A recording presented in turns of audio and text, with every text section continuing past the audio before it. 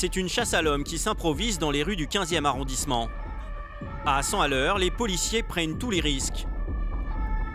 Charlie n'hésite pas à traverser une station-service pour gagner du temps. Dégage là, dégage Cette fois, les délinquants ne doivent pas lui échapper. 15 15, individu repéré. euh, Attention, t-shirt jaune. euh, Dans le euh, cimetière. euh, Dans le cimetière, le courbe, là, cimetière, le courbe. T-shirt jaune et t-shirt gris. Passe par là, Seb. Sébastien décide de partir à pied à la poursuite de l'un des agresseurs. Il se serait réfugié dans ce cimetière. Après une course effrénée, il finit par rattraper le fuyard.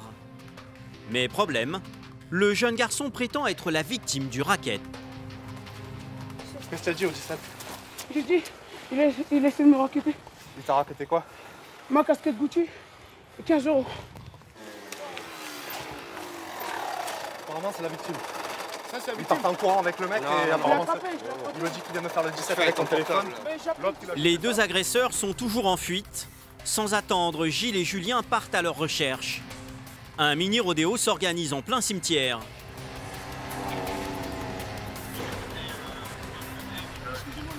En vain. Quelques minutes plus tard, les policiers sont de retour. Ils n'ont pas réussi à rattraper les voleurs. Sébastien décide alors de questionner le jeune garçon pour avoir sa version des faits. En fait, j'étais. euh, j'étais. J'allais partir à Boulevard. Après, il y, a il y a des jeunes, ils m'ont vu. Ils m'ont dit, viens voir, s'il te plaît. Ils m'ont arraché mon téléphone. Après, ils ont, ils ont couru. Après, j'ai crié au secours. Il y a un monsieur qui travaille, qui fait du poulet. Il l'a balayé, donc euh, mon téléphone est tombé, je l'ai ramassé. Et après, euh, après euh, je suis parti dans le métro, il m'a dit, viens, t'inquiète, je vais rien te faire. Après, je suis venu, il m'a pris ma casquette, mon argent, il a couru. Dans la bagarre, le jeune prétend même avoir été gazé par les deux agresseurs. Les policiers ont d'ailleurs retrouvé cette bombe lacrymogène dans le cimetière. Les deux malfrats l'auraient perdu dans leur fuite.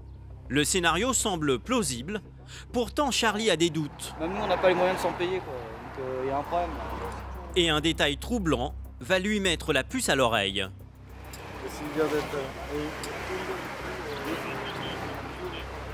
Ils pas la gazeuse. Ils sont pas la gazeuse. On voit dans le métro. On voit quoi. Et tu t'es lavé comment Je me suis pas lavé.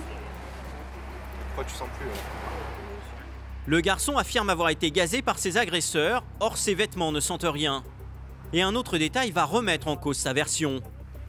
Dans sa sacoche, les policiers tombent sur un téléphone dernier cri, encore dans son emballage d'origine. Et il te vole une casquette, mais il te vole pas l'iPhone 5. Non, mais que bizarre, hein. c'est la sacoche. Genre, toi, t'as un iPhone 5, toi. T'as quel âge? À 14 ans, t'as un iPhone Ça, 5. c'est pas moi, c'est. C'est C'est à mon grand frère. L'histoire du garçon est de plus en plus louche. Très vite, sous la pression, il va tout avouer. Il va raconter aux policiers qu'il tentait de revendre un téléphone volé. En fait, euh, mon grand frère, il a acheté son iPhone sur le bon coin. Ouais. Et euh, celui-là, l'iPhone 5, Ouais. il est tombé sur un iPhone volé. Ouais. Donc, euh, moi, je l'ai remis sur le bon coin. Ouais. Celui-là, j'ai remis sur ça sur le bon coin. Ouais. Et après, euh, moi et le mec, on s'est donné rendez-vous. Ouais. Il a essayé de me le prendre. Celui-là, l'iPhone, vous avez vu la boîte. Ouais, elle a abîmé, ouais, je vois ça. Donc c'est le mec qui avait là, il a essayé de te le péter, c'est ça?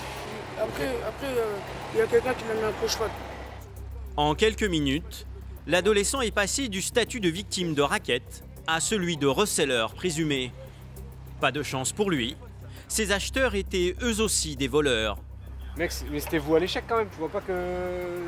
Tu as quel âge 14 ans Tu vas vendre, qui, t'es tu vas vendre un téléphone volé à des mecs qui Mais- sont. C'est mon frère. C'est finalement au poste de police que l'adolescent finira la journée.